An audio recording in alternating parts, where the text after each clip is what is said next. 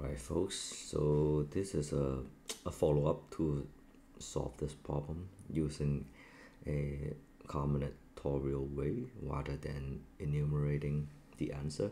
So please check my other video in the description. Alright, so let's first think about the denominator. If you're drawing two cards at random, how many ways are there to draw two cards at random?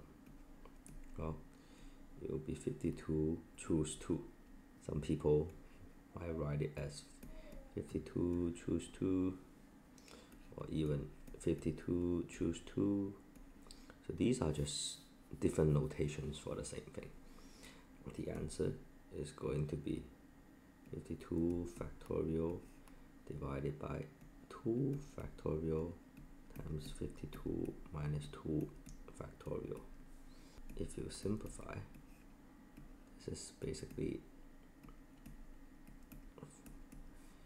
52 times 51 divided by 2, which is 1326. So this is the denominator. For the numerator, you can basically draw 52 cards. That's your first card. And for the second card,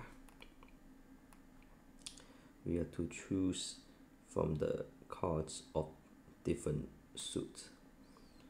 Well, there are 52 times 304 cards. These are all cards that have different suits.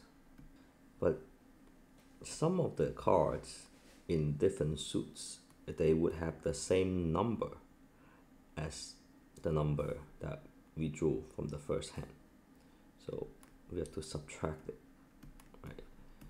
So basically in all this car there is 1 over 13 so these are the car basically has different suits same number. So the answer is 52 times 39 minus 3 and finally remember we are picking two cards here in order. So we have to divide it by 2 this is 936 936 or 1326 that's the answer which is really the same as 36 over 51 so notice that we have done this using the combination approach which does not consider the order in which you pick the car. If you were to do this by considering order, then then the denominator is really just 52 times 51.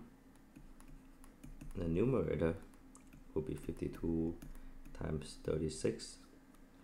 So then that gives you the answer of 52 times 36 divided by 52 times 51 which is also 36 over 51 alright I hope that clarifies the question for some of you. Thank you